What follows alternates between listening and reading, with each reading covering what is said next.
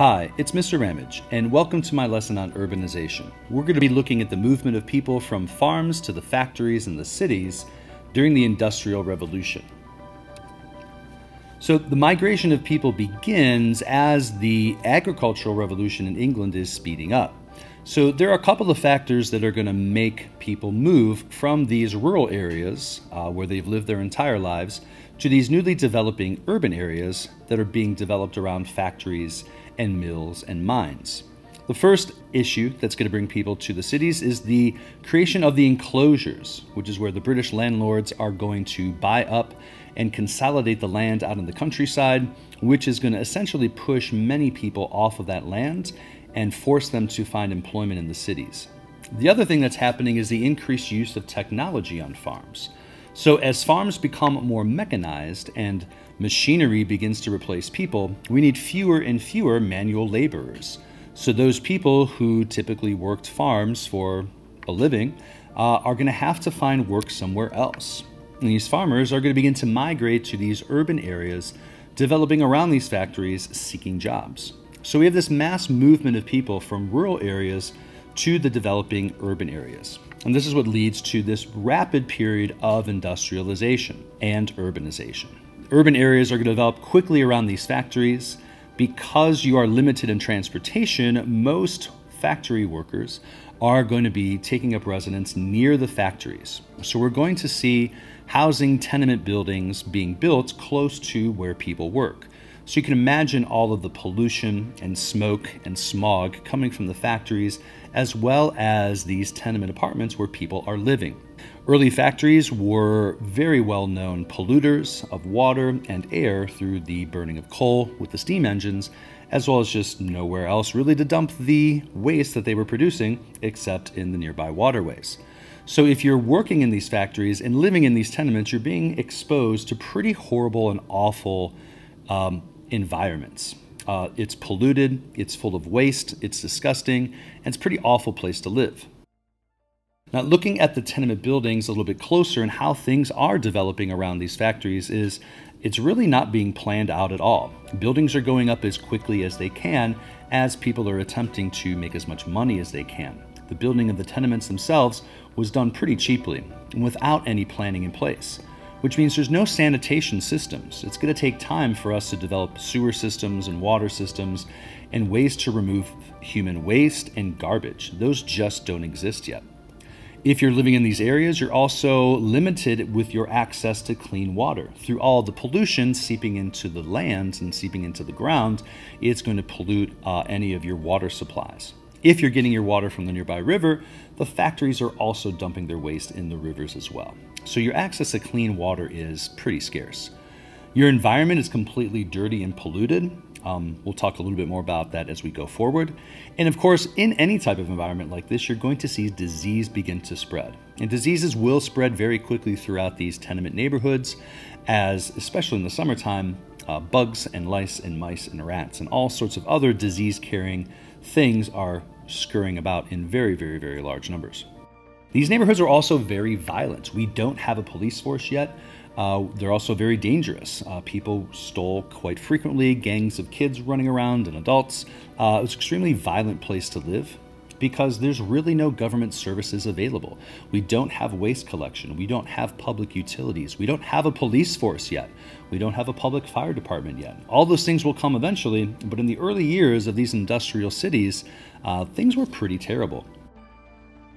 In the tenement housings, again, the buildings were built as quickly as possible, as close as possible, uh, to maximize the space that was available.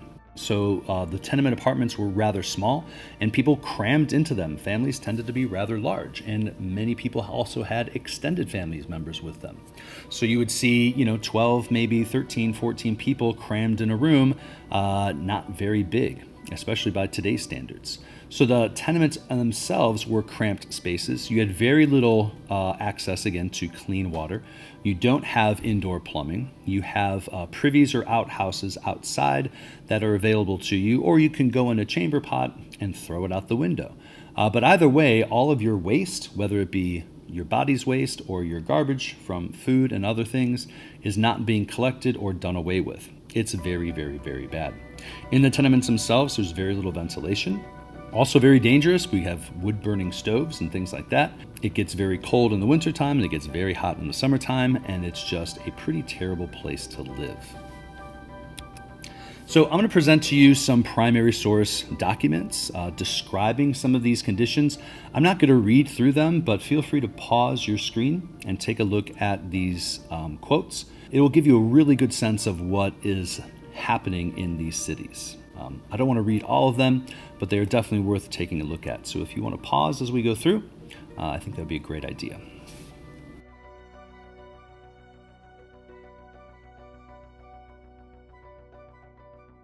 Hopefully, those quotes gave you a better sense of what's happening in these cities and what those environments are like.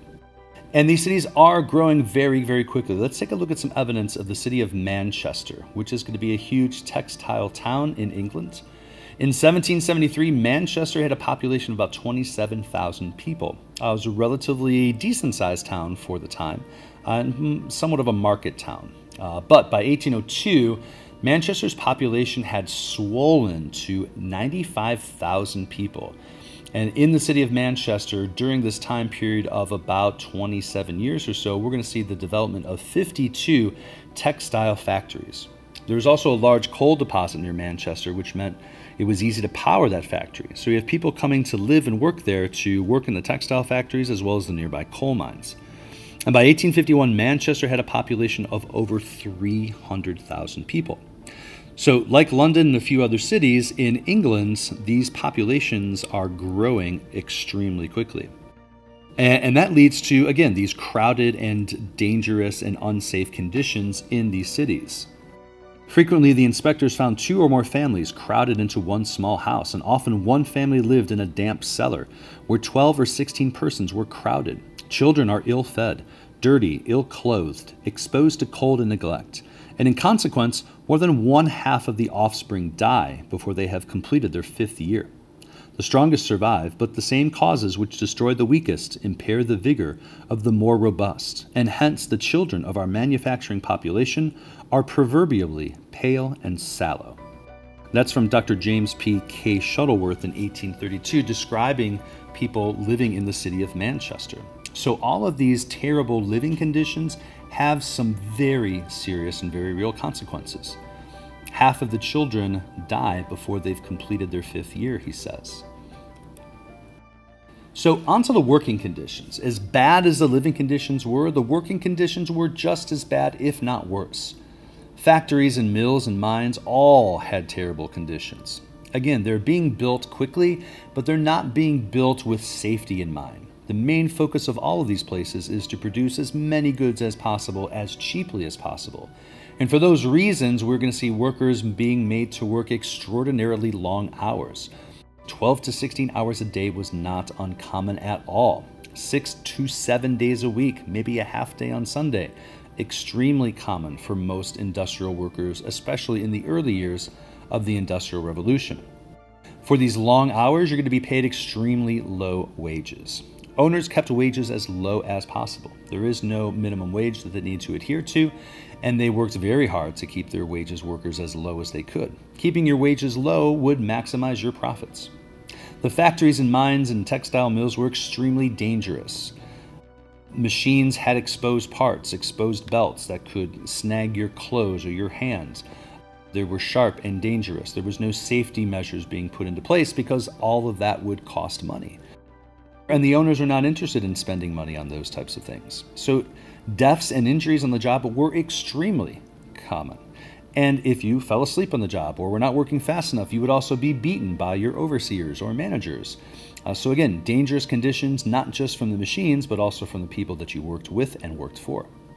Child labor was also extremely common in these places. Children as young as five years old working in factories, some alongside their mothers or parents. Uh, there are no benefits for anybody, no workers' rights, and it's extremely unhealthy. So these working conditions are pretty terrible. Uh, and you spend all day there, and you, then you go home to even more terrible conditions where you live. Uh, in terms of pay, men were, of course, paid the highest. Women were paid about half as much as men were, and children were paid significantly less than women. And at this time, labor unions are not in really in existence, and it's going to take a very, very, very long time for unionized labor to get together to help win better conditions and pay for these industrial workers.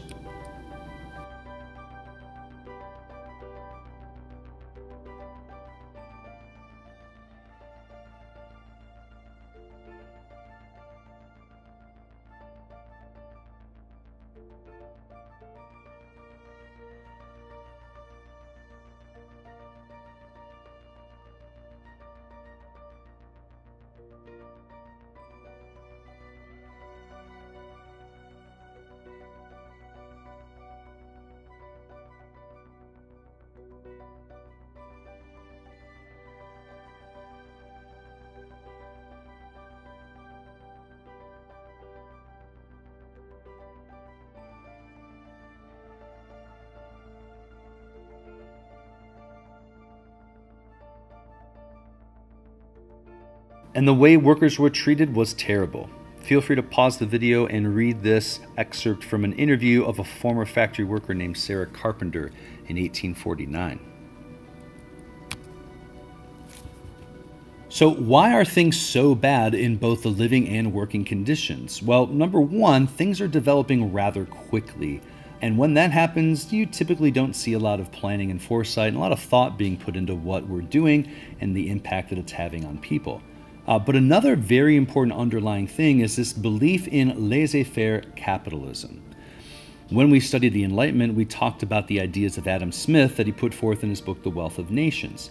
That book becomes a very important and very influential piece of work for the early years of the Industrial Revolution. And in the book, Adam Smith preaches the idea that the government should remain hands off of business, that the best thing that government can do is stay out of it and let business run itself. Let the supply and demand drive the market, and in the end, that will benefit everybody. So, what we're going to see in the early years of the Industrial Revolution, and maybe sadly even further on than probably should, little to no regulation of businesses. As in fact, businesses are going to support the uh, owners of these factories because these factories are generating wealth for the country and they're going to be aided and supported by the government when things uh, don't go well. Government is not going to support organized labor or the working class people. They're going to definitely throw their support behind the business owners. So there's no real regulation of anything for a very, very long time. Uh, and this all falls under this very extreme vision of capitalism, which is, of course, an economic system based on supply and demand and a free market. So these ideas of Adam Smith are very influential, and the overall attitude was the government should remain hands off and business should be able to do what it wants to do. And as we begin to wrap up our lesson today, we're going to look at some new social classes that are going to be created through this process of industrialization. Some of them we already know, but we are going to see some new faces and some new things happening in our new industrialized society. Uh, so the upper class is still going to be the upper class. They're still going to be the wealthy. They're still going to be the powerful. They're still going to be the influential. Uh, but in terms of these industrial cities, they're going to live outside of the city, of course. They can afford transportation, they can afford horses, and eventually they'll be able to afford other modes of transportation as well. So they don't live near the dirt or the pollution or all the gross and disgusting things that we mentioned earlier. And of course, they have an extremely high standard of living. And again, it's a very small percentage of the population. But the growing part of our population is going to come from this new middle class in our society. This middle class is essentially going to be created by the Industrial Revolution and through urbanization. And the middle class is going to be made up of mostly skilled workers, people who uh, have a trade that they had to get an education for or they had to have experience in. And because of that, they have skills that other workers don't possess. And because they are skilled workers, they are going to be paid higher wages. So, in terms of a factory, you need managers. That's much more of a skilled position. You need accountants. Uh, you're going to need lawyers. You're going to need engineers. You're going to need designers. You're going to need all sorts of jobs and people that have to have high level of skills. And in our society, we tend to reward people with high levels of skills with higher and bigger paychecks. The growing middle class is going to also be able to, because they're being paid higher wages, live further away from the factories. So they're going to be able to afford transportation to go to and from work. So they're going to be living away from the pollution and all the nastiness of the uh, urban areas. So therefore, they can afford a higher standard of living, and their children are not going to have to go to work. They can afford to send them to school. So this group is also going to develop a stronger connection to education. So instead of going to work, their children will go to school, and they will grow up to become skilled workers who will then sort of maintain this uh, sense of control over this system. And we're going to call and reference this group of people as the bourgeoisie, a term that we used back in the French Revolution, to kind of reflect this same group of people well to do, uh, middle to upper middle class workers. At the bottom, we have the working or lower class people. Uh, working class or lower class are the factory workers and others. And these are workers who are unskilled. You do not have to have years of training in order to do one of these factory jobs. You can basically go in and be trained on whatever machine it is that you're going to be working with uh, in an hour or two or in a day or two, right? And because of that, you're going to be paid lower wages. So unskilled workers are not going to be paid very high or comfortable wages. There's also so many people available to do the job, it's actually going to drive wages further down. This group of people is going to be forced to live closer to the factories, so closer to the pollution and the grossness and the grime of these urban areas. They're going to have a much, much, much lower standard of living, and their children will have to go to work. So if they want to have a better standard of living, they mean they need more income in their houses, which means they need children to go to work. And therefore, because children are working instead of going to school, there's going to be less education and less educated people within this working class group. And we're going to call them a new name, the proletariats, this large group of working class people. And you can see the difference in those living conditions. On the left would be some conditions where you might find an average working class family, and to the right, a more middle class bourgeois family. And that's a pretty drastic difference. And unfortunately, we're going to see this in most industrialized towns, both in Europe and in the United States, a very clear divide between those of the working class and those of the middle class. To wrap things up for today, what are some key takeaways from this lesson? Number one, the enclosures and the increased use of technology on farms led to an increase in migration to urban areas. Urbanization developed rapidly, which led to terrible living conditions. Make sure to go back and read those primary source excerpts. Working conditions were just as terrible with long hours, low wages, dangerous conditions, and child labor in most factories. Laissez faire capitalism and its supporters favored a government that was hands off of business and did not regulate industry. And number five, industrialization redefined social classes and created a new middle class of skilled workers. Hopefully, you've enjoyed this lesson. Thanks for watching.